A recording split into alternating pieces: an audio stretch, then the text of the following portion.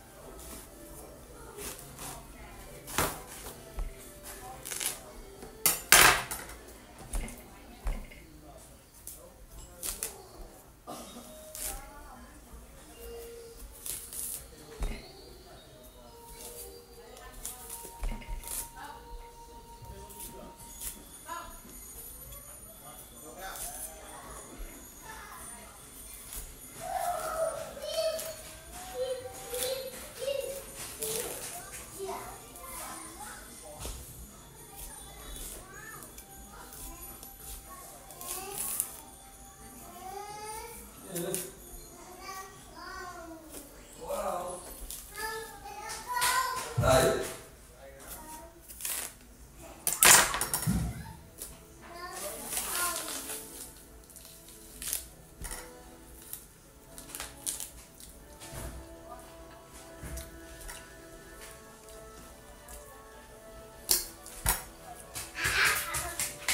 Đừng lại vào video